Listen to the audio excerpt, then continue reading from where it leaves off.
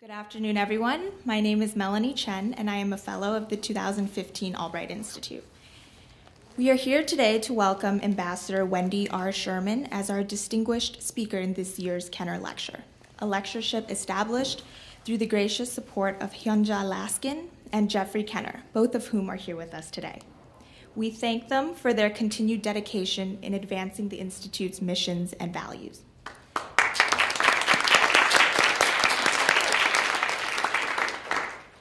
When I asked Ambassador Sherman earlier this afternoon about what excited her most when coming to Wellesley to speak, she responded, Because this is Wellesley, and Wellesley is what made Secretary Albright who she is. And I think that we and all the Wellesley women in the room can agree that this is the case. Ambassador Sherman recently stepped down from her four year tenure as the Undersecretary of State for Political Affairs, where she oversaw every region in the world and dealt with every major diplomatic opportunity and crisis. Her work spearheading the U.S. negotiating team in the Iran nuclear deal has been instrumental in the deal's successful conclusion this past July. Although she has since transitioned to her current position as resident fellow at the Harvard Kennedy School Institute of Politics, the impact of Ambassador Sherman's work as Undersecretary of State will continue to echo in the political and public sphere indefinitely. In light of the most recent events in Baghdad, Beirut, and Paris, she will also be speaking about these as well. So please join me in warmly welcoming Ambassador Wendy Sherman.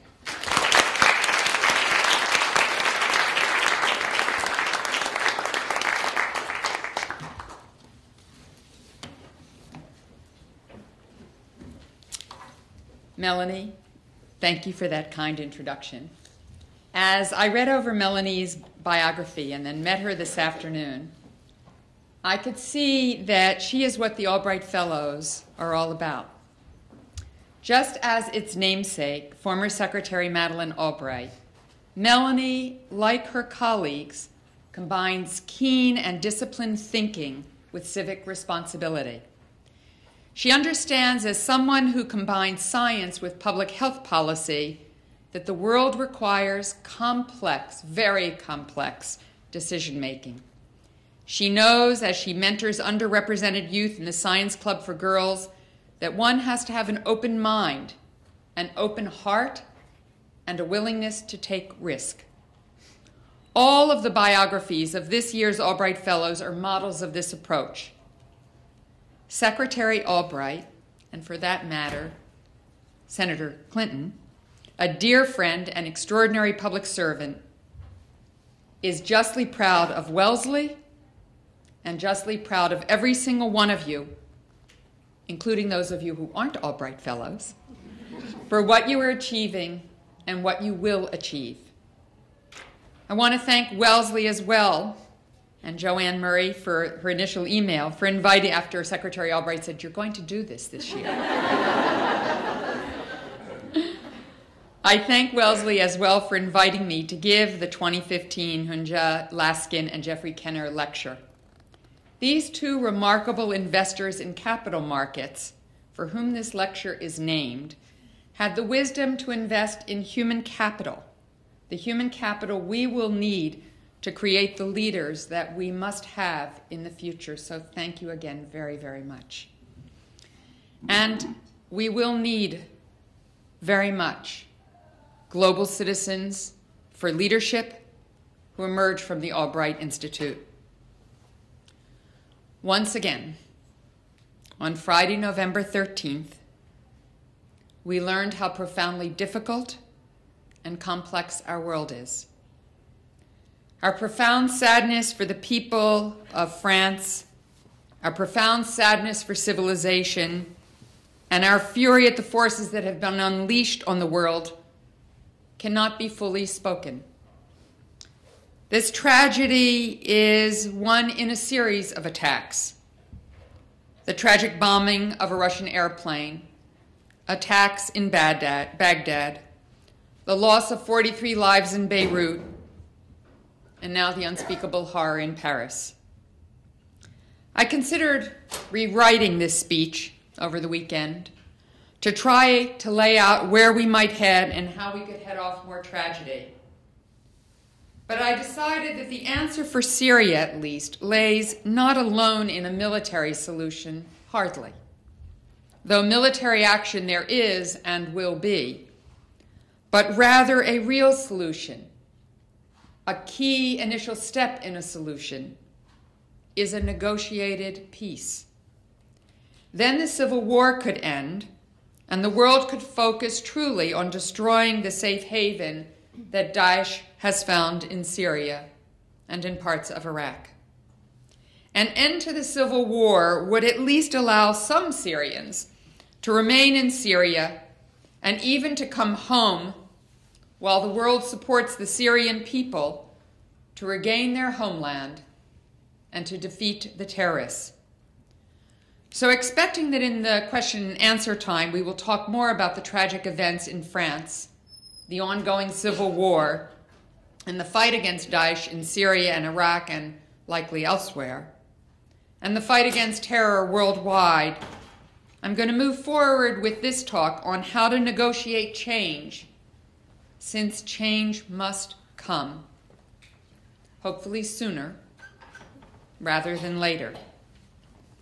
Just over this weekend in Vienna, and then again in Antalya, Turkey, nearly 20 foreign ministers and then over 20 heads of state sat together around the same table to talk about the future of Syria.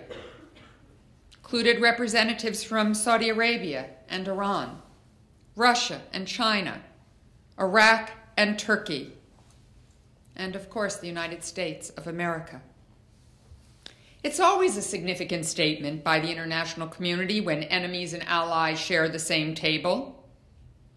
But the colorful flags, the ornate surroundings, and diplomatic nameplates could not conceal years of tragic failure by the international community. In fact, its consequences were the very reason for the historic meeting first two weeks ago in Vienna and then the meeting this weekend in Vienna followed by the G20 being completely subsumed by the crisis in Syria. 12 million Syrians have been forced to flee their homes. Countless families have been wiped out by barrel bombs and chemical weapons. Children choked to death in the backs of trucks. Others washed up lifeless on shores as they made a dangerous journey with their parents who are just trying to give their kids a future of freedom. Nor could the international community escape the reality of the vacuum Syria's internal conflict created. One filled by brutal terrorists, brazenly beheading Syrians and Westerners, bedeviling the Middle East and the world, and landing in the tragic events of the last few days. Ending this tragic spiral was the task of this team of rivals in Vienna and in Antalya. Saudi Arabia and Iran, whose enemy enmity for each other is legend. Turkey, a neighbor to and sometimes challenger of Iran that is housing untold numbers of Syrian refugees, and European nations desperate to stem the flow of refugees that threatens its economic and political stability. Russia and Iran, which support and supply Syria's President Assad, and the United States, which supports and supplies his opposition. In fact, on the same day the ministers first met in Vienna, the United States announced it was sending special forces into Syria to help the opposition. There was no shortage of disagreements about around any of these tables. But on this challenge, these countries have come together in common cause to find a peaceful solution to the brutal fighting in Syria and defeat the Islamic State or ISIL or Daesh. To find success where the international community has tragically so far failed. As I watched the reports of the talks from here in Boston, I thought this scene was very familiar to me. The parades of delegations gathering in Vienna, the flags of allies and enemies flying beside one another, the anxiety of whether this meeting would bring historic change or further deepen distrust. It looked familiar to me because three months earlier I'd sat in the same city and witnessed history. In July, as you know, the United States and our partners agreed to an understanding with Iran to ensure that it never obtains a nuclear weapon. There were no shortage of disagreements around that table, too. Great Britain, France, Germany, Russia, China, Iran, and the United States went back and forth over years of contentious negotiations. Each country faced opposition back home and from international quarters. In spite of the resistance and rivalries and even hatreds, inside and outside the room, the powers agreed on a way forward that would soon be backed unanimously by the United Nations Security Council. This effort is, of course, far from over.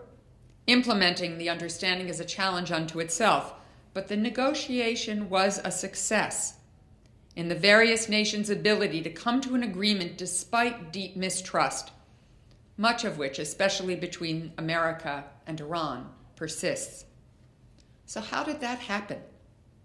What made the Iran negotiation a success? What were the conditions that encouraged conciliation and compromise?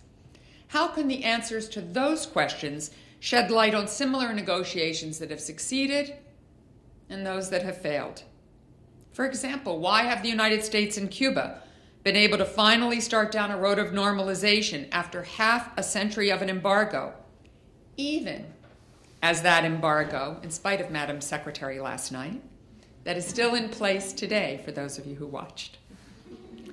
Why is a two state solution between Israel and the Palestinian people still elusive?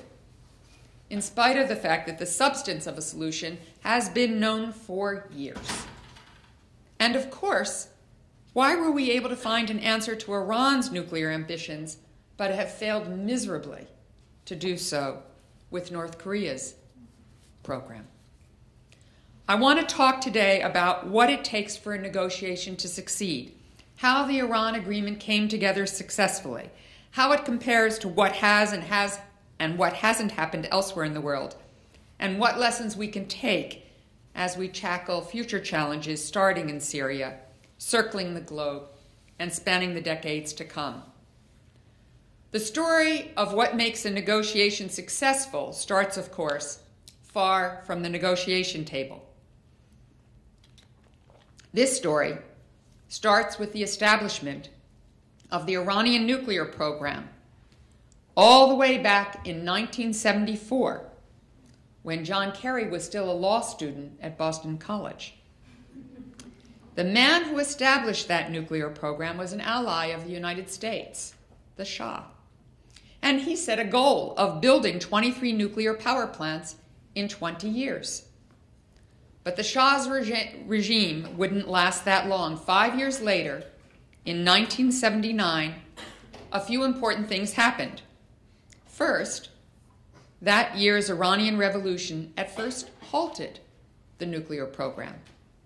Second, the leaders of that revolution held 52 Americans hostage for 444 days, cementing for decades an unforgiving mistrust between our countries that remains to this day. And third, A.Q. Khan, who was the father of Pakistan's nuclear program, gave Iran a schematic of a centrifuge, essentially the first page of the instruction manual for how to enrich the kind of uranium you'd need to build a bomb. Fast forward a couple of decades. By 2002, it became clear to the world that Iran had a full fledged uranium enrichment program at a facility called Natanz and it was working toward building a plutonium facility at Arak.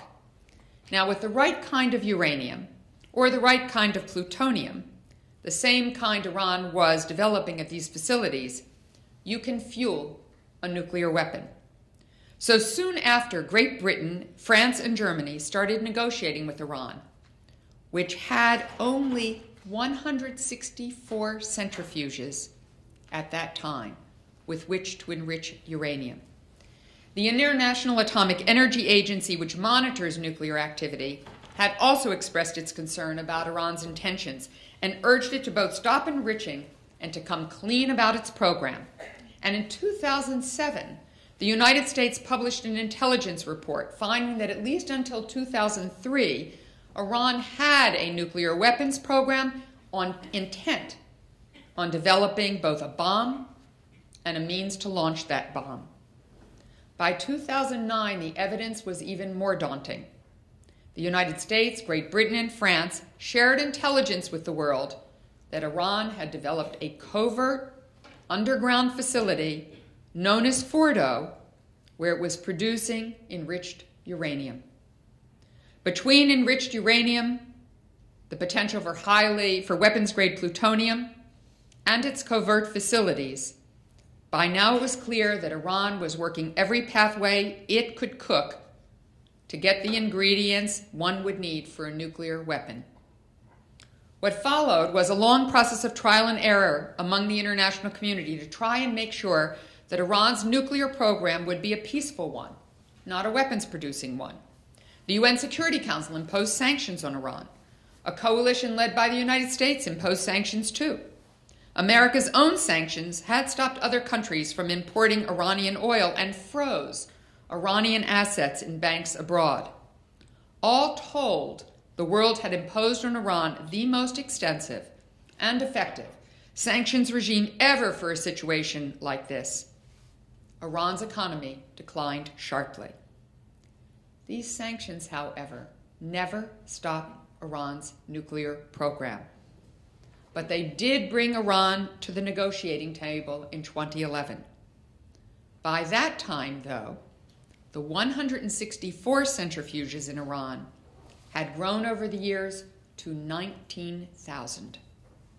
The threat was now of a completely different magnitude. The negotiations fell to the political directors of the various governments, and at the time, I was the political director of the United States government.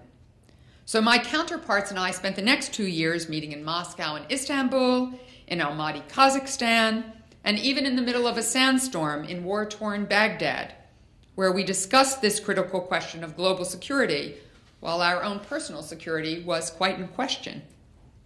These early negotiations were frustrating and fruitless. The High Representative of the European Union, Catherine Ashton, led our side of the negotiations in English. Saeed Jalili led the Iranian side in Farsi. But language wasn't the only barrier.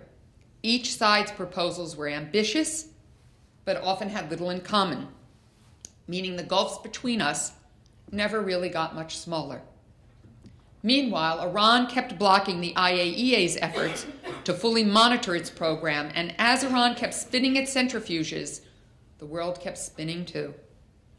Iraq was hoping reconciliation between the United States and Iran would help stabilize its own future. Israel's prime minister warned the world Iran was reaching a point of no return, memorably drawing a literal red line across a cartoon bomb at the UN General Assembly. In Tehran, the brief flicker of the Green Movement that promised to bring reform to the Islamic Republic was snuffed out before its light had a chance to shine. But when the next election rolled around, the outcome offered a glimmer of hope.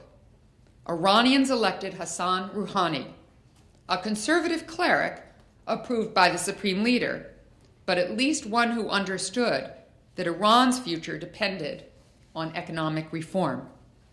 He understood that for Iran to prosper, sanctions would have to be lifted and Iran's international isolation would have to end. it finally appeared as if President Obama might have an Iranian leader he could negotiate with combined with a secret back channel that had been tested with the help of Oman, the only Gulf country with a strong relationship with Iran, a real opportunity might just be possible. President Obama took advantage of this opportunity to make a critical policy decision. He understood that Iran knew what it knew. In the decades since A.Q. Khan first passed along the schematic for a centrifuge, Iran had mastered the entire nuclear fuel cycle. While we had a real military option at the ready, no military option and no military action can bomb away knowledge. It might set Iran's program back a couple of years, but when Iran inevitably rebuilt it after a military strike, it would likely do so covertly and underground. That wouldn't solve the problem, and in fact, it would create new ones. So President Obama agreed that his negotiators could present the possibility that Iran might be able to maintain a very limited civil nuclear program. And the world would use intrusive monitoring and verification to make sure that program would be an exclusively peaceful one. The president's realistic understanding of Iran's capabilities unlocked a door that would perhaps lead down the hallway to success. The first negotiations were held in secret, a result of that back channel relationship I mentioned that Oman had helped broker. When you think about it, secret negotiations seem almost impossible in an age of GPS, GPS satellites, drone cameras, 24 7 media coverage, and endless government leaks. But it worked. It was too important not to. Our negotiators left their homes without telling their families where they were going or why. They flew in unmarked planes to Muscat and showed up in unmarked cars to a small guest house on the Gulf of Oman. When State Department staff asked the Operations Center, which can track down any diplomat anytime, anywhere in the world, about their boss's whereabouts, they heard excuses about illnesses, the needs of older parents, and family commitments.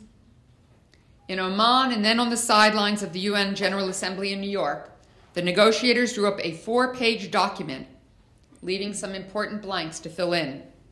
The bottom line was that Iran would freeze and even roll back its nuclear program in return for some small sanctions relief to buy the time to negotiate a more comprehensive plan of action. That four page document became known as the Joint Plan of Action. After I joined those secret talks, it fell to me to bring the Joint Plan of Action to the larger group that included the other members of the UN Security Council, the EU, and Germany. I wouldn't say any of our partners were shocked that negotiations had been quietly underway, but that didn't mean it didn't hurt their pride and sense of value. Our European colleagues were rather irritated. Some were upset because they had long been willing to allow a limited program, the key that unlocked the stalemate, and it was the United States who until now had always called it a non starter. And let's be honest, no country likes to be presented a document that is nearly a fait accompli and be asked to sign on. Some difficult conversations ensued on our side, but we had bigger things to worry about, like those important blanks in the Joint Plan of Action we still had to fill in. We all met in Geneva in November of 2013 Instead of unmarked planes and secret meetings, these talks happened under the glare of literally hundreds of cameras. We were so optimistic that Russian Foreign Minister Sergei Lavrov had a bottle of champagne waiting on ice. A little odd with negotiating with Iran, but nonetheless. but last minute concerns, most publicly by the French, sent everyone home sober and sobered. Two weeks later, we were back in Geneva for non-stop negotiating sessions. All of us, including Secretary Kerry, stayed up all night. Some of the behind the scenes players who had relationships essential to the uh, success of the Joint Plan of Action, diplomats like Deputy Secretary of State Bill Burns and Jake Sullivan, a policy advisor to former Secretary Clinton, were ushered in and out of maintenance elevators and hidden away in the Secretary's suite like characters in a Moliere play at 4 a.m. on the Sunday before Thanksgiving, all the countries involved agreed to the Joint Plan of Action. As that chapter closed, another began. Now that we had frozen and rolled back parts of Iran's nuclear program, we now had the space we needed to negotiate the comprehensive agreement. Everyone, including Iran, knew what the objective was ensuring that Iran cannot obtain a nuclear weapon ever, and ensuring that Iran's very limited civil nuclear program would be subject to intrusive and extensive monitoring. And because the other end of the bargain would lift sanctions on Iran and end its isolation from the international community, everyone, including Iran, was invested in getting that agreement done. Again, the world kept spinning, even if by now Iran's centrifuges, in essence, stopped doing so. Russia intervened in Ukraine and illegally annexed Crimea. Iran continued its destabilizing actions in the Middle East and detained American innocent citizens. China challenged free navigation in the South China Sea. Events in Syria, Iraq, and Yemen presented their own challenges. The Gulf Arab states grew frustrated that a deal wouldn't address their other regional concerns. Israel's challenges to any deal with Iran grew louder and louder. And here in America, the rhetoric of domestic politics grew as heated as ever. With so many players involved, it was like playing several games of multidimensional chess at the same time. The negotiations were bilateral, trilateral, and ultimately multilateral. We found ourselves negotiating with each of our P5 plus 1 partners and EU partners, one on one, but also in groups. And we were simultaneously negotiating with Israel and with the Gulf states and with other partners and allies throughout the world who had a stake in the outcome, and even within the United States government, and certainly with the United States Congress. And oh, yeah, every once in a while we'd occasionally negotiate with Iran. Everything was moving simultaneously, and every piece was complex in its own right. I make this point because one of the keys to a successful negotiation is keeping everyone on side as you proceed, even if parties disagree in the end. And as you know, there were those, even in the United States, who did. You want to make sure that the understanding you've reached is as durable as possible. After all, it's not unheard of for parties even to break treaties once those treaties no longer serve their interests. That's one reason why the Joint Plan of Action was so important during the nearly two years it was in place, even though it was only meant to be in place six months. Iran and everyone else fully complied with the Joint Plan of Action, and that served as a confidence building measure. If coordinating so many players was like playing multidimensional chess, coming to a consensus on so many issues was like solving a Rubik's Cube. All of the elements had to be on the table at once and they all had to fit together perfectly before the last piece would click into place. The conceptual work and the highly technical work had to be done at the same time. From February 2013 to May of 2014, we met for days at a time in Vienna. Because there were so many variables, the political directors and our teams of experts took turns holding what amounted to multilateral seminars on every subject that would have to be agreed if we were going to reach a comprehensive understanding. One country would lead a seminar on uranium enrichment, another would lead a seminar on the Arak reactor, another would lead one on transparency and verification measures, another on sanctions, another on military dimensions, another on UN Security Council resolutions, and on and on. So maybe it's no surprise why, when we hit our first deadline in July 2014, we needed an extension. That's what was happening at the political directors level.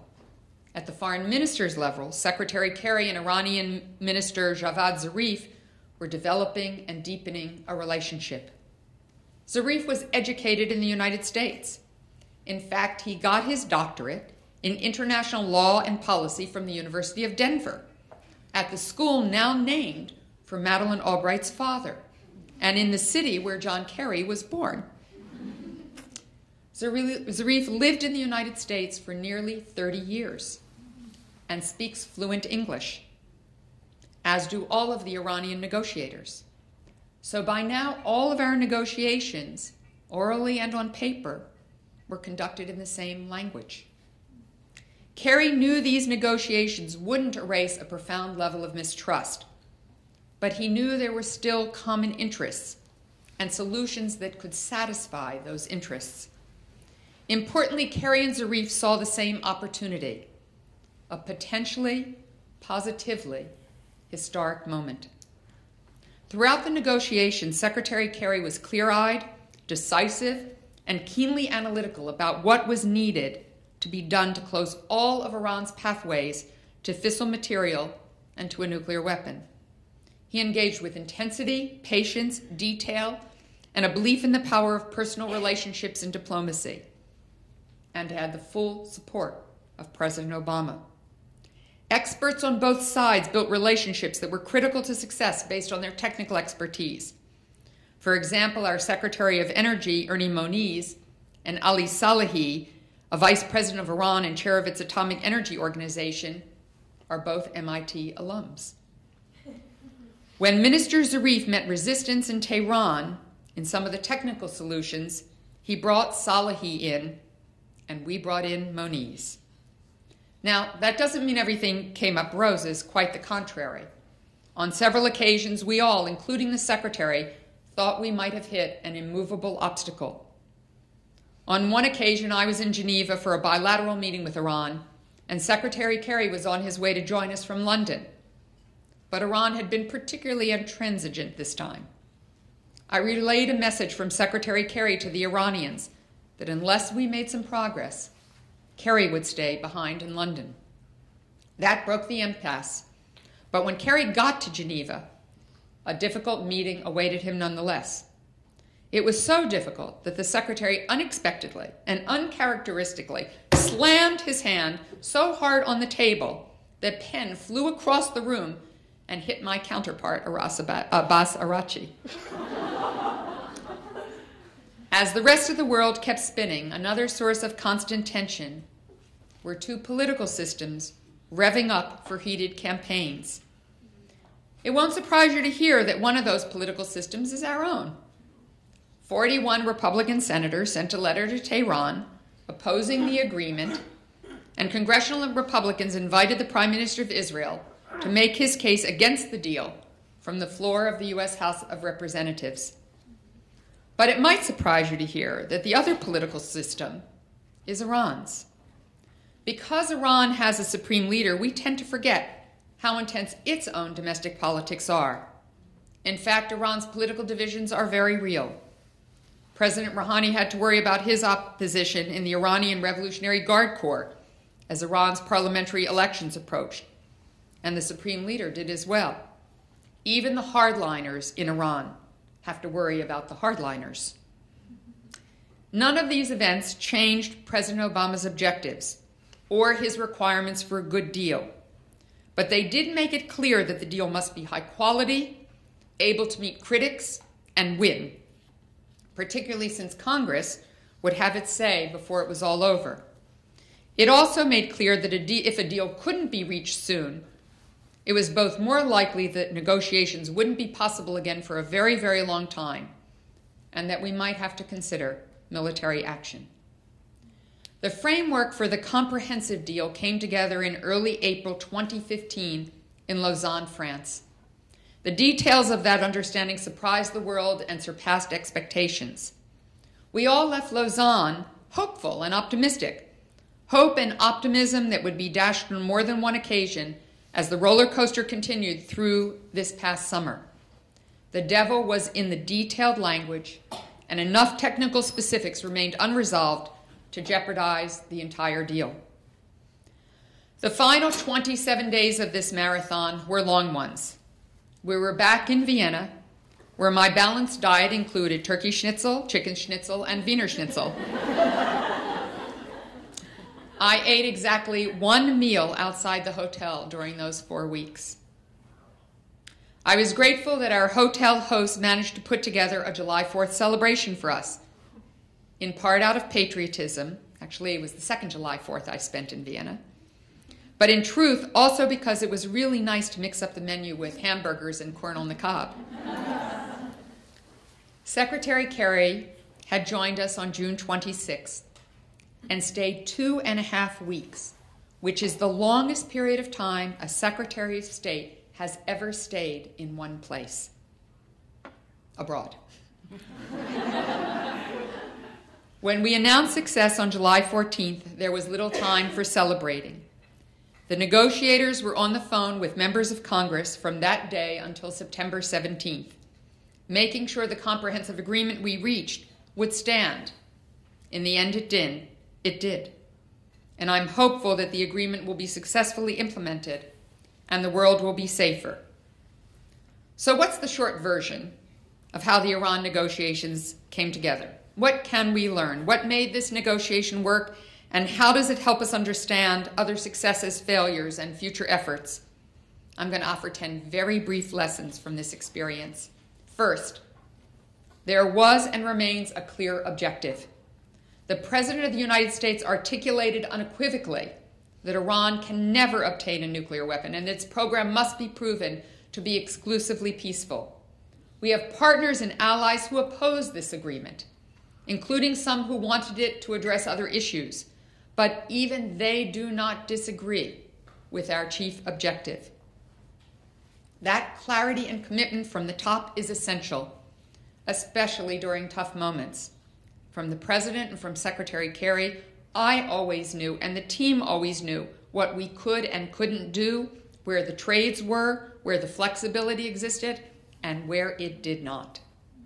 Second, while domestic and international politics put constant strain on these talks, all parties managed to stay focused on what was happening inside the negotiating room.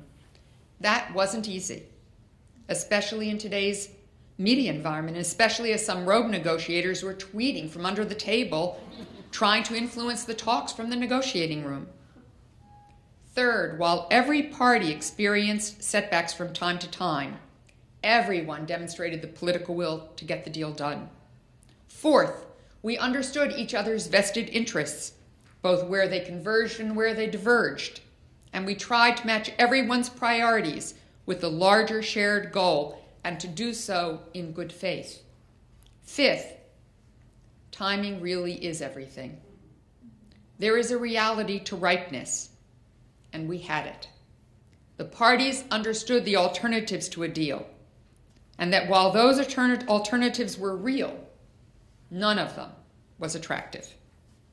Six, all the parties had leverage, particularly Iran and the United States. Seventh, all the parties had stamina. All of the parties built the necessary technical expertise, teams, and internal decision making processes to develop creative solutions, incentives, and options and do it in a timely manner. Eighth, Everyone had excellent intelligence, particularly us. excellent channels of communication and sufficient time to consult. Ninth, for the United States at least, the negotiations were never about trust. My counterpart, Abbas Araghchi, and I both became grandparents for the first time during these negotiations. Even amid the human moments when Araghchi and I would share videos of our grandchildren. I know. the next negotiation session could be just as mistrustful as the one before. And tenth, everyone compromised some, but no one conceded everything, with one major exception Iran could never have a nuclear weapon. These are the basic ingredients the right leaders and the right leadership, the right and shared objectives, the right team, and the right time. In that lens, the transformation in U.S. Cuba relations looks familiar. Many of the same factors have now been realized, including the politics of the region that support the path to normalization. Like with Iran, Cuba required a secret channel to protect what would be seen by some as a controversial decision. And of course, this was largely a bilateral effort that rested in the hands of the leaders of the two countries. But what about stories with less happy endings? What about North Korea and the Middle East? In Korea, it's first important to remember that the North and South are still not at peace. Their relationship teeters on an armistice that's now 62 years old. More a cult than a country in many ways. North Koreans and their leaders are easily some of the most isolated people in the world. The current leader, like his father and grandfather, rarely travels outside of the country, and he rules with a tyranny that has left his people malnourished and poor. There have been moments of possibility, one in the Carter administration, one in the Clinton administration, but time got in the way. And though the six party talks shared an objective, they didn't share the same sense of urgency, means, or tactics. Many books can be written about each of these cases, have been and will, but none has or will inspire more volumes than the failures to achieve Middle East peace. The terms of the deal have been known for so long that the same arguments and suggestions, even the same words, repeat themselves administration after administration.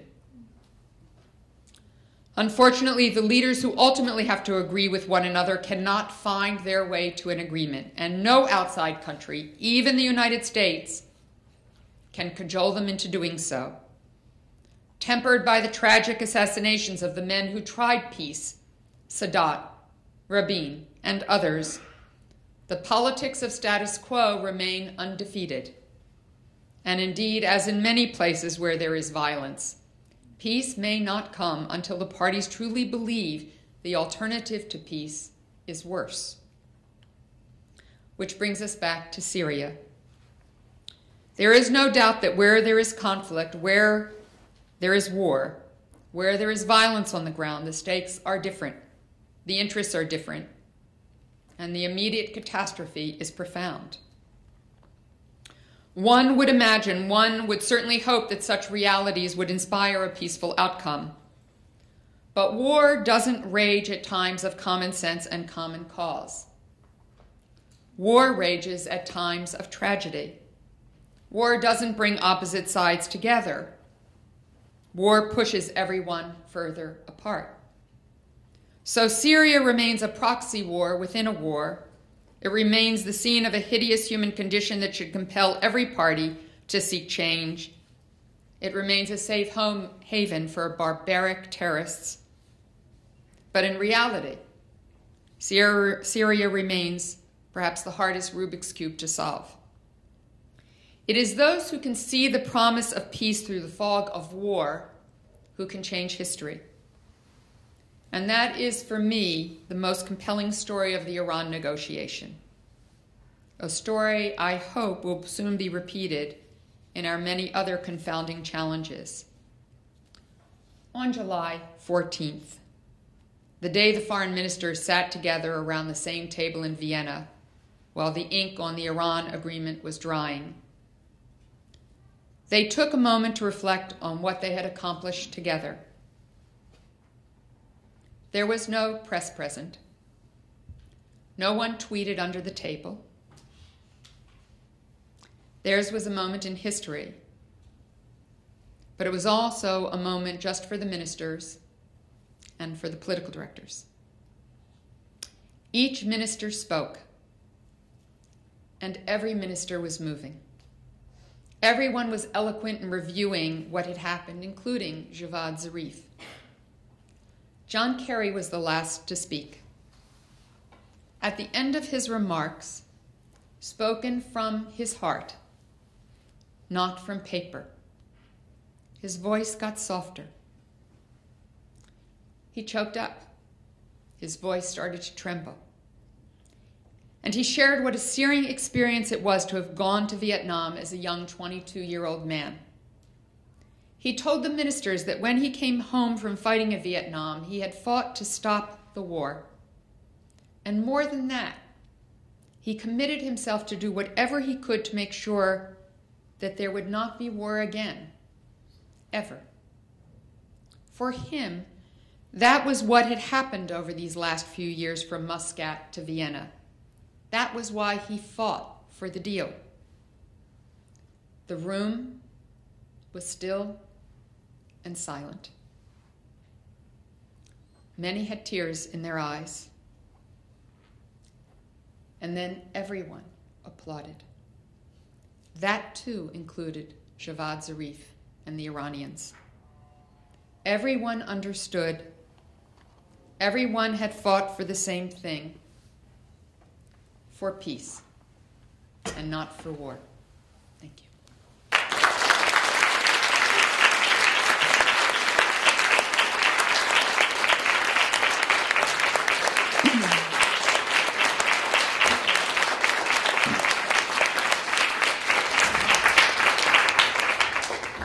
Thank you, Ambassador Sherman.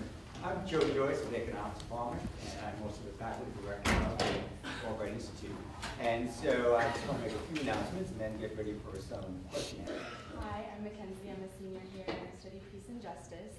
Um, I kind of Why don't you come a little closer so they can see you, Mackenzie? Okay, sorry. So I maybe want to take you a little bit off topic and bring you to a theme I think that has um, become really important at Wellesley recently called self-care. And so you are in a field that is very stressful and complex all the time. And I'm wondering if you could tell us maybe what you do to take care of yourself emotionally, physically, mentally, in all fields while you're trying to save the world. Um, my husband would probably say I don't do a very good job of it. Um, but he is a great part of why I'm able to do what I'm able to do. My husband, my family, I have a daughter, I have a grandson, another one coming in a month, uh, great son in law, sister. Uh, she has a family. I have a great group of friends. And when I when Secretary Clinton asked me to come back as the undersecretary if the president would nominate me, which he did, um, I uh, talked to all of my friends and family. I'd been in government before. I worked for Secretary Christopher as the Assistant Secretary for Legislative Affairs, and I worked for Secretary Albright as her counselor. And um, so I gath- gathered them all together in various groups and said, the next four years I'm going to be absent. I apologize in advance. I'm going to be a terrible friend. I'm going to be a terrible family member. I won't remember anybody's birthdays.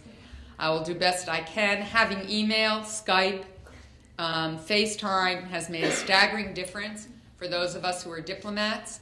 Um, I think uh, so. I, my friends, my family are been phenomenal supports.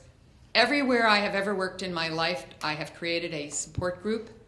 Um, back in the days when there were no women in national security and foreign policy, I'd find a few who were, and they'd be my support group, and a few great guys who'd be my support group.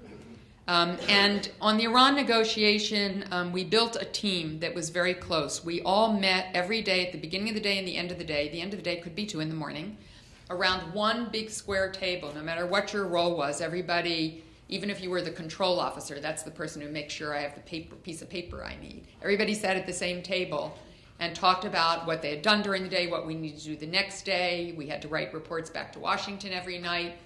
And we all became very close and very supportive. One of my teams, um, uh, one guy, uh, his kids made each of us a sock puppet and sent them to Vienna. Um, we shared stories, we shared videos of our kids. My, I have two favorite kid stories, um, and then I'll stop. Uh, one is my daughter sent me a photograph of my grandson looking at a front page of the New York Times. My picture was on it sitting next to Secretary, and he kissed the newspaper. That got me through a few days, right? These things get you through a few days, and she'd send me a photograph at the end of each day or a video, and that that kept me remembering what why the hell I was doing this, and at the really tough times, you know, when I'd sort of lose it, my husband would say, "You are trying to make history. That is what you're trying to do." So hang in there. And I had a great staff back in Washington. My chief of staff, most chief of staff for undersecretary of state for one year. Mine was with me the entire four years. Just an amazing woman. And I had a every year the undersecretary of political affairs gets a new set of special assistants because the job is so rigorous and they have to start at like 6.30 in the morning go to 11 o'clock at night they stay for one year so i've had five i had five groups of specials and Kamala Lakhdhir, my chief of staff, best mentor on the face of the earth. So all of these things, but you have to ask for what you need, and you can't be shy about asking for what you need to get yourself through. And I broke a lot of things. Um, hello, my name is Anna Caldwell Ordeer. I'm a first year intended uh, chemistry major, Korean minor. And so my What's question minor? Korean language. Korean. Yeah, so my question is actually about Korea. Um, so if the opportunity for six party talks arose again, um, what would be the procedure for that and what conditions do you think would need to be met to ensure a successful negotiation? Well, there's actually a very interesting story in the last couple of days, and that is that Ban Ki moon is going to go to North Korea, going to go to Pyongyang. This is rather extraordinary. I have known uh, Ban Ki moon since he was an assistant vice minister, uh, before he was even foreign minister in Korea. He is now the Secretary General of the United Nations. He knows, I don't think he's personally ever been to the North, but he certainly knows the North, and we're talking about the Korean people, whether you're North or South, it's the Korean people. One of the great tragedies are the separated families. It just, it's heartbreaking. Uh, and I don't know whether that will unlock something. I cannot imagine him going and not meeting with Kim Jong Un. The six party talks haven't been abandoned. They're just not useful right now. They have, there hasn't been a six party negotiation for seven years. So you have to have people ready to move forward. China has done some things to put more pressure on the North. They are, after all, their supplier and their patron, uh, but not quite enough. Uh, and um, Everyone has to have the same urgency, agree on the tactics, agree on the means to get there, and we haven't.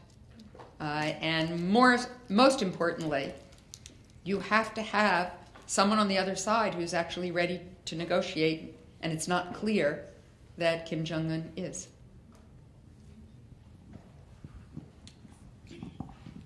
Hi, my name is Kimia. I'm a senior and I study political science and Middle Eastern studies. Um, I actually was an intern this past summer at State and working in the Office of Iranian Affairs. So, yeah, a little bit familiar with the issue. But um, I had a question with regard to human rights, actually. Um, so, in the negotiations, I was wondering if human rights was brought up. As you know, Iran is a perpetual human rights abuser against ethnic and religious minorities, particularly the Baha'i community in Iran, which is the largest religious minority who is heavily, heavily persecuted. So I was wondering if um, there was any talk about these human rights issues during the negotiations, and then also now that the deal has been done, um, whether or not in U.S. relations with, with Iran now, in our attempt to transform our relations with Iran, will human rights also be on the table? Absolutely. Human rights was on the table, human rights was discussed, and in fact, what we said to Iran is we will work out a pattern to lift the economic and financial sanctions, the oil sanctions. We're also licensing a couple of things out of the primary embargo I should have mentioned in my remarks. The United States will only uh, get a very limited amount of business out of this deal because we have a primary embargo that was put in place after the 1979 revolution and the hostage taking. So we have licensed a couple of sectors like airplanes because more Iranian civilians die in bad airplanes and per capita than anywhere else in the world.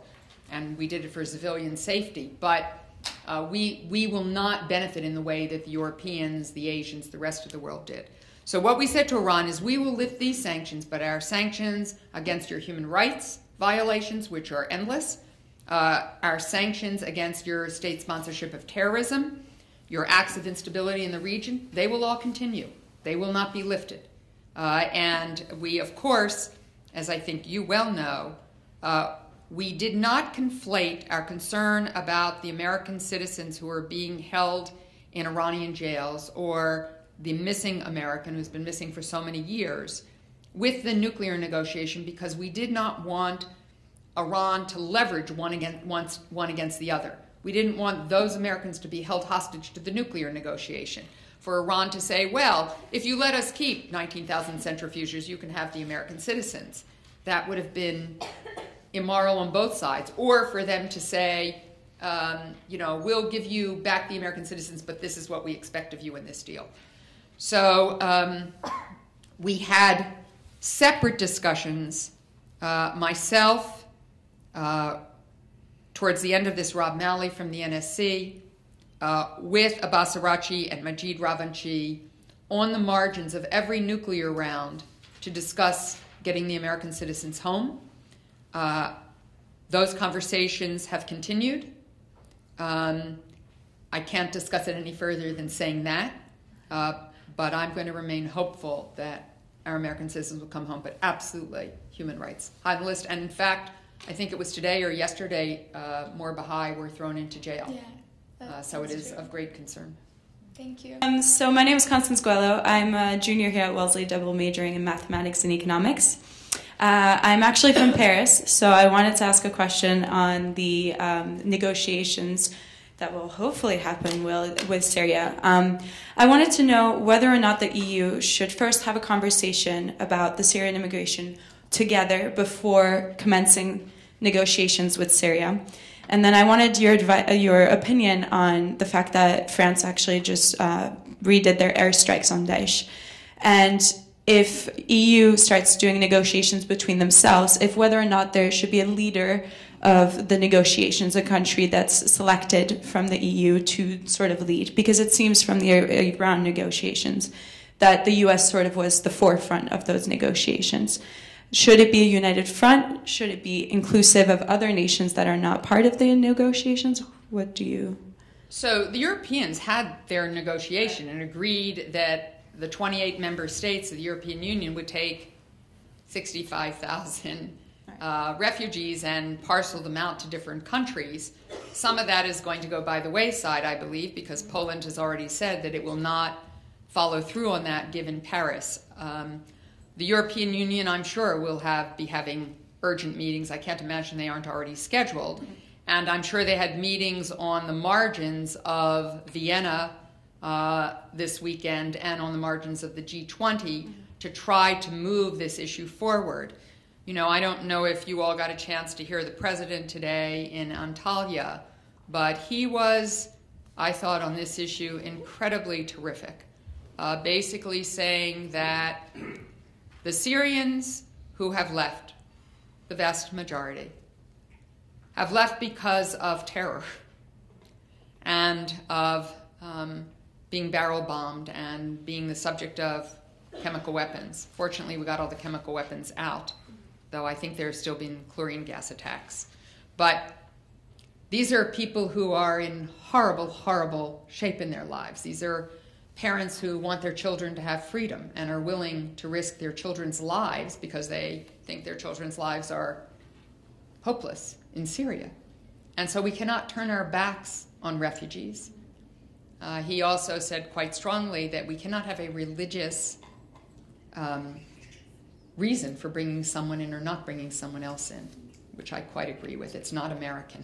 We are about tolerance, we're about inclusion.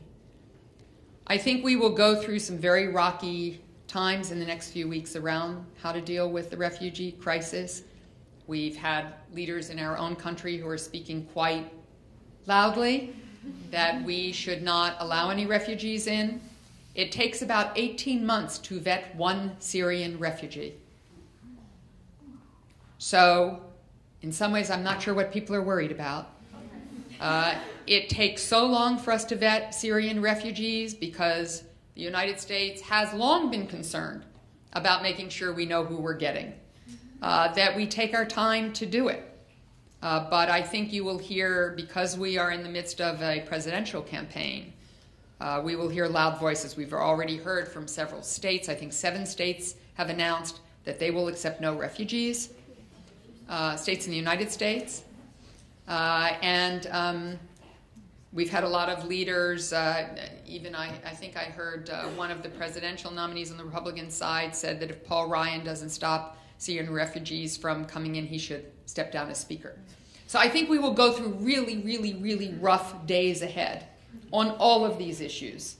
Uh, but I am optimistic, and since this is the Albright Institute sponsoring this, Secretary Albright is one of the most optimistic people I have ever known. As she says, she's an optimist who worries. And so I'm going to be an optimist and worry. Thank you. And our condolences to your country, men and women.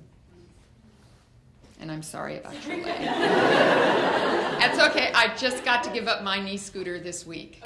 So I understand. Hi, so um, my name is Come on. Come on in. Okay. So the camera can see you. Oh, okay. Um, I'm a sophomore at Wellesley, um, economics and Russian area studies double major. Um, my question's sort of more meta and twofold, so here it is. Um, in your experience, what kind of value have you felt that women have added to the negotiating table, and how optimistic do you feel about the future representation of women at these sort of very high up negotiations? Great question. Um, there's a lot of literature that says that women are better negotiators because we can say things and be heard in ways that men can't. Um, I'm so shocked at your response. that said, it was quite odd for the Iranians because the two people who probably spent more time with the Iranian negotiators than anybody else were Helga Schmidt, who was Cathy Ashton and then Federica Mogherini's deputy, who is really the unsung heroine of this. She is my counterpart for the European Union. She coordinated this effort. She did a lot of the negotiation. She's absolutely splendid diplomat, German diplomat, uh, but seconded to the European Union. And me, uh, not only an American woman, but a Jewish American woman to boot. So um, it was, and there were, of course, no men, no women in the Iranian delegation, though a lot of the Iranian journalists are women. Um, so uh, we talked about it with each other. Um, uh, we talked with the Iranians directly about this circumstance, Okay. which was sort of odd for them and for us. And uh, just like in an Orthodox Jewish community, as you probably know, you can't shake hands, you can't touch, which, which makes it awkward in diplomacy, but something I was used to as I explained what happened in Orthodox synagogues when I grew up. They found that fascinating. Um, so I think that um, we are tough cookies, Helga and myself. but most importantly, whether there's a, a label on the table or not, I'm not there as Wendy Sherman, I'm there as the United States of America. And uh, Secretary Albright taught me that. When she was at the UN, she sat behind a placard that said the United States of America. So, you know, they're dealing with the United States of America. That's a lot of power. And I'm very lucky. And then the last two things I'll say to you are um, I did use being a woman once quite consciously in the negotiations. Um, we were, it was, we were negotiating the UN Security Council resolution, which was really one of the last things to be done. Uh, and was one of the last things to be done because we knew the Russians wanted one thing, we wanted quite another. The Russians said, "Leave it till last because we'll have no, we'll we'll we'll have to find a compromise. We'll both the stakes will be so high, we'll have to find a compromise," which we did. Um, but it became, and the United States holds the pen, so I did that negotiation, and uh, it was apparent we were not going to make the congressional deadline that would mean it would be a 30 day review as opposed to a 60 day review. And my plan had been to leave the State Department at the end of July, at the end of the 30 day review. I'm very fortunate to have a little cottage on Stockbridge Bowl Lake in the Berkshires. I was going to go there for August, and then I was going to come to the Kennedy School in August. And all of a sudden, it was apparent to me none of that was going to happen. none of it. And I was furious. And um, when I get angry, somewhere I learned when I was a little girl to cry. and there's nothing I can do about it. Nothing. I've tried over the years. Uh, but I cry and I tell people I'm crying not because I'm sad, I'm crying because I'm angry. so I said to them, and they wanted one more thing, and I got so angry I started to cry. First, I got angry, which they didn't see very often, and I started to cry. And I said, You have just ruined my entire life.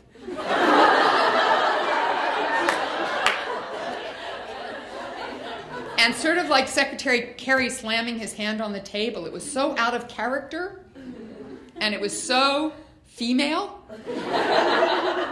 that um, they they didn't know what to do, and I think it made us all it made us all all of us sort of sit up and I mean Rob Malley was sitting next to me, and it was just the two of us and, and uh, Abbas Araghchi and uh, Majid Ravanchi, and even Rob was sort of like didn't know what he was supposed to do there, right? But it was useful. It was useful. Uh, and then the last thing I will say to you is things have changed and are changing. Uh, when I did the North Korea negotiation at the end of the Clinton administration uh, and was always meeting with the Japanese and the Koreans, I was literally the only woman in the room.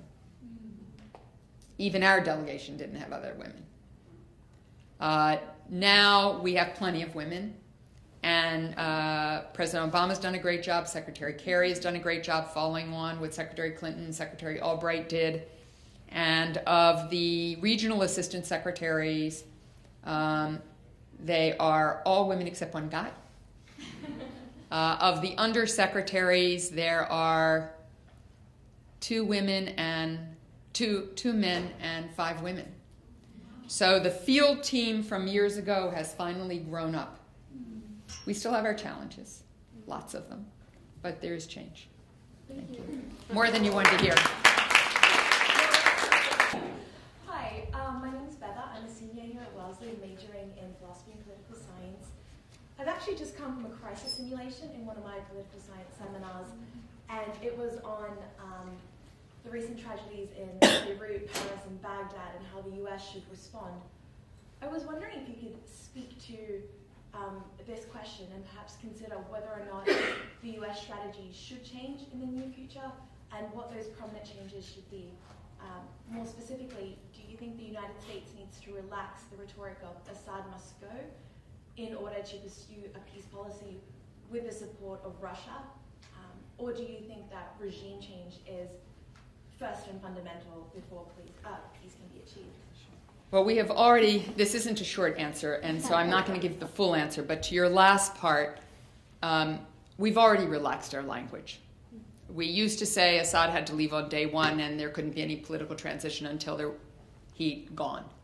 Now we say he could stay in some kind of a role for some short period of time, but there has to be a transitional governing body according to the Geneva Communique that we had agreed to in 2012 that would um, inevitably end in his not being part of the government. And we believe very strongly still that he has lost his contract with his people. If indeed what got agreed to in Vienna by the International Support Group uh, for Syria uh, can happen, which is within 18 months, we can actually put a ceasefire in place, a transitional governing body, um, uh, have a new constitution and move to elections that are internationally supervised by the UN so we know they are free and fair and credible.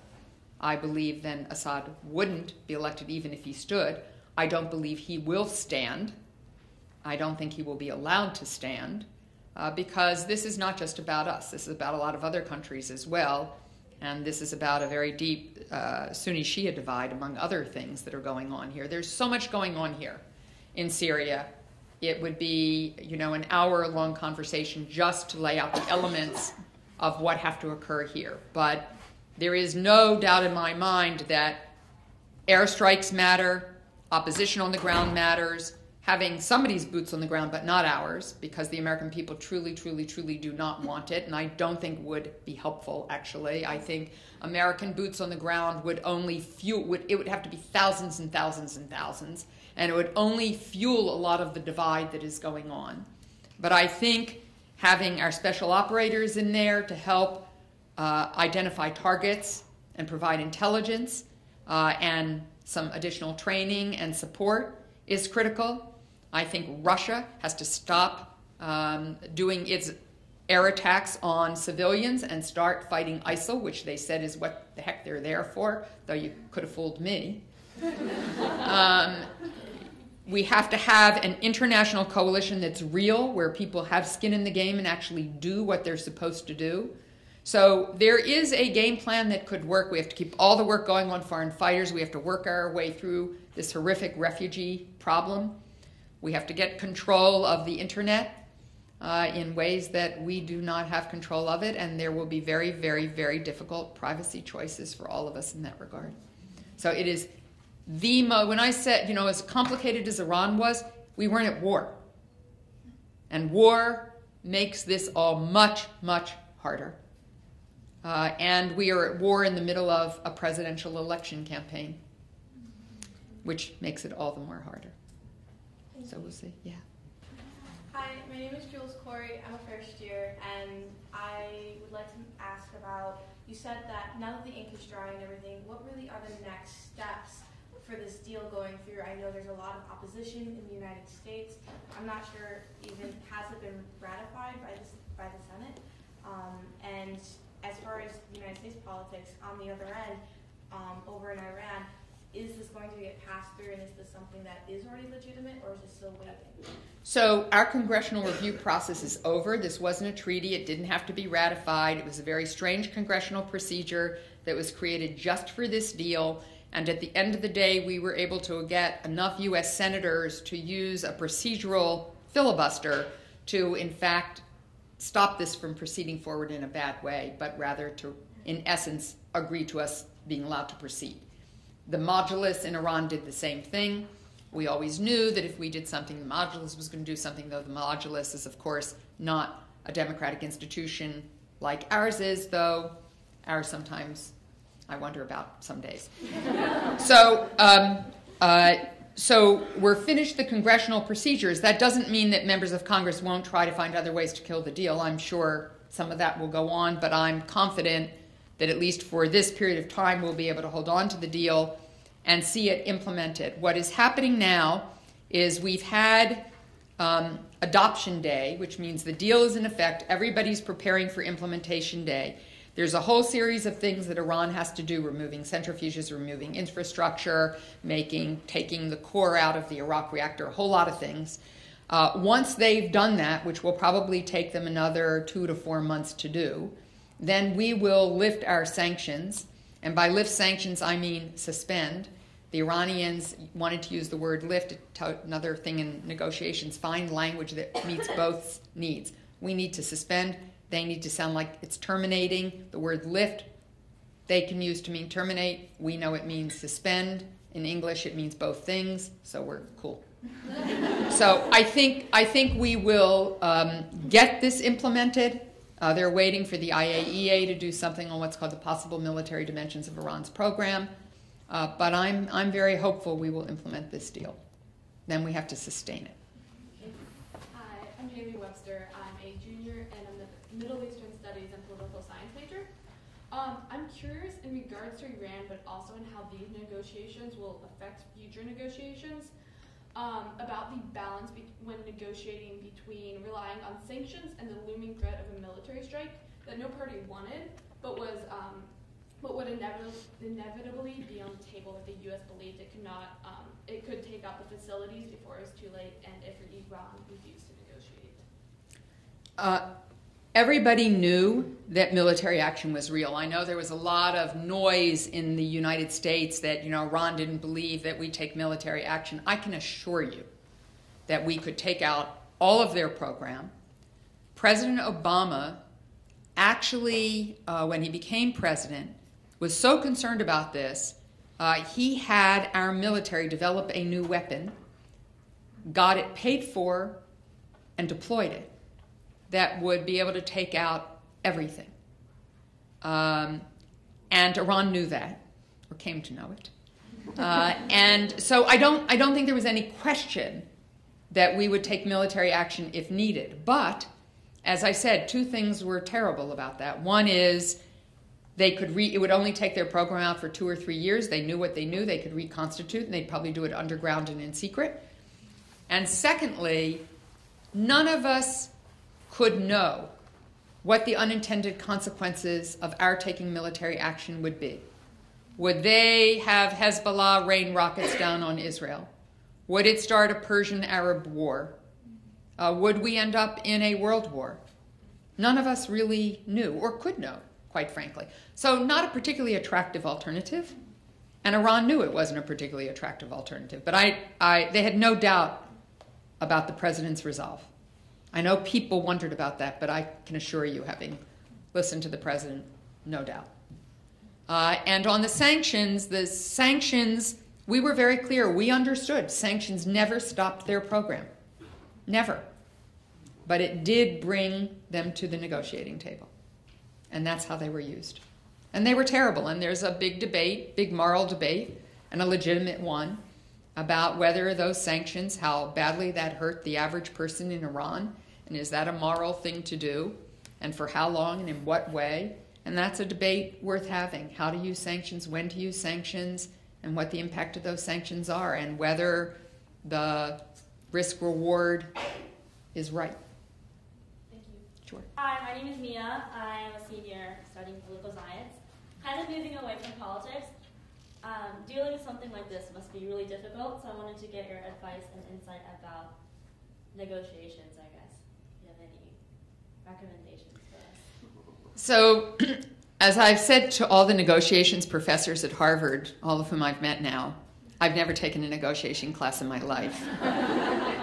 Some of them haven't either. So, um, uh, and um, Joanne and I were talking about this beforehand. My initial training, I have a master's in social work.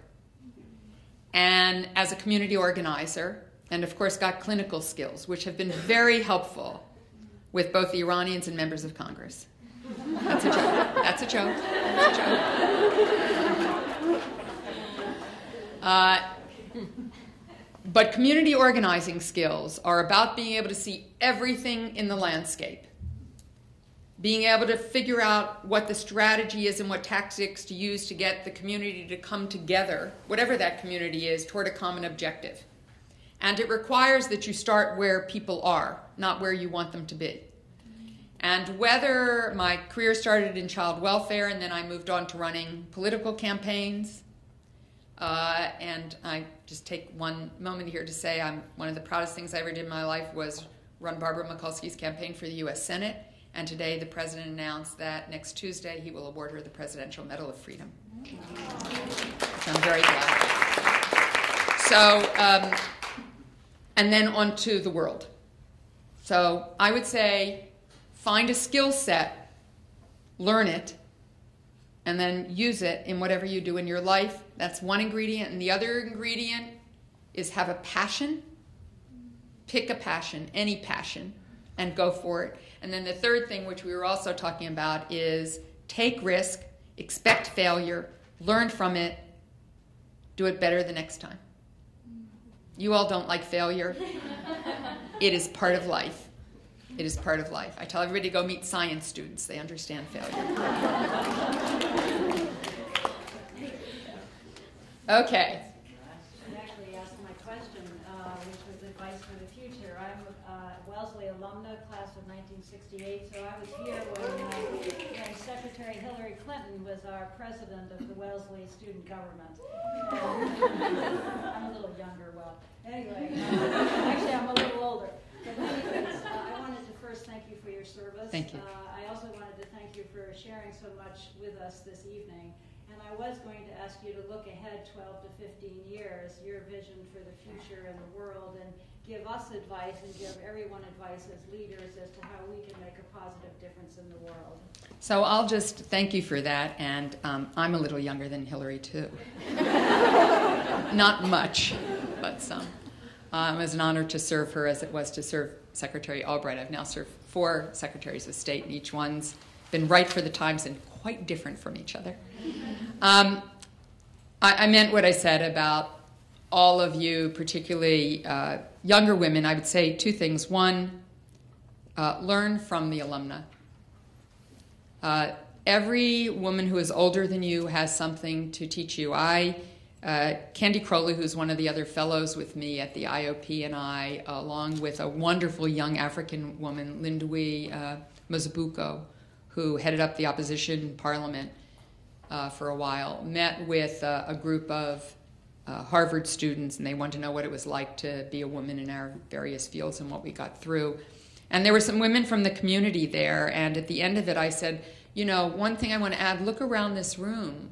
The women who are older than you here have something to teach you. And I got an email the next day uh, from a woman who said, I think I'm your age, and she was. Um, and I had a sleepless night And I think I had a sleepless night because that was the first time I've ever been acknowledged in my life as having something of value to offer to another person. I have always helped people in my family, I've taken care of everyone, I've made sure everybody got everything they needed, but nobody ever asked me for what I learned as a result of that and what value there is to that. And I just wrote her back and said, Well, it's never too late. um, so, everybody you know has value. All of your peers have value. They have lessons to teach you, they have experiences to share.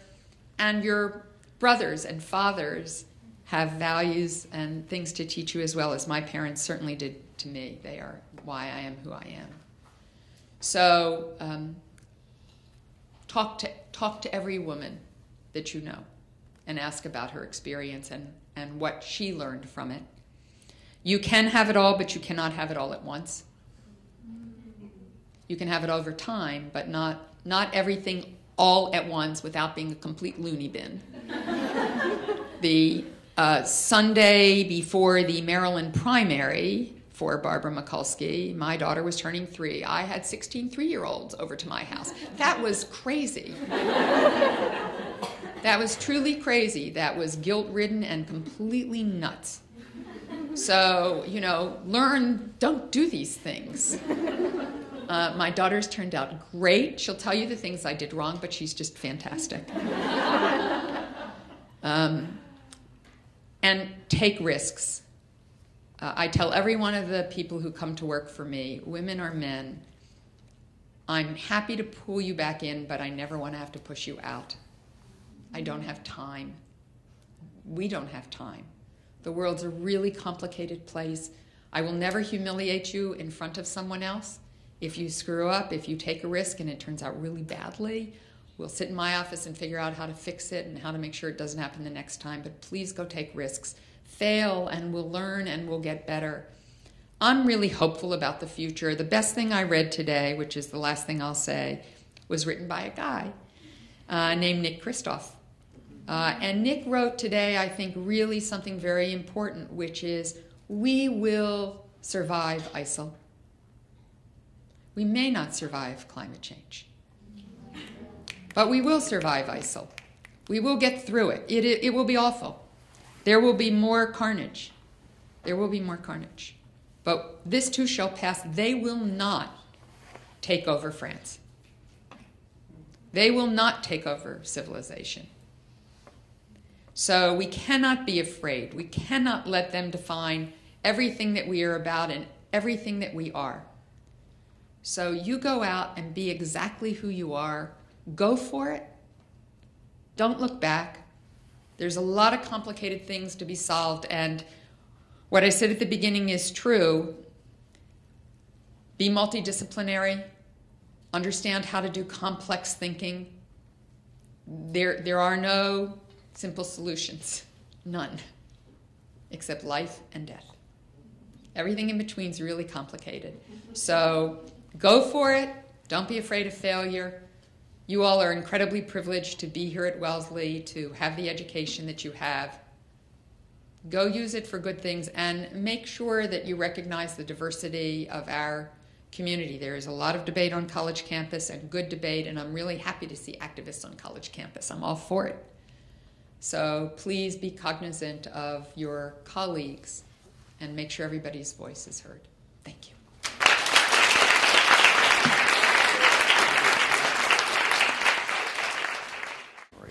But this year we have a very, very special extra event. The weekend of January 30th to 31st, after the second semester has begun and the students are back, we will be having a special reunion of all the women of the Albright Fellows, but also a global leadership forum. And on Sunday, January 31st in the morning, there'll be discussions on global health and inequity in health and food security. Those will be spot headed by uh, our faculty, uh, Professor Charlene Galarneau of Women and Gender Studies, and Professor Rob Alpert, who just retired from political science. So those are going to be fabulous panels they're putting together. But in the afternoon of January 31st, there will be a global discussion of global inequality. And on the panel will be, of course, Secretary Albright, Mark Malloch Brown, the former head of the United Nations Development Program, Sri Indrawati, who is the number two person at the World Bank, and Christine Lagarde, who is the chief head of the International Monetary Fund. Those four people are coming here to Wellesley College to talk about global inequality. And the talk will be moderated by Wellesley's alumna Heather Long, who is economics editor of CNN. It will be an extraordinary event. I really hope you all can come on January 31st. Thank you.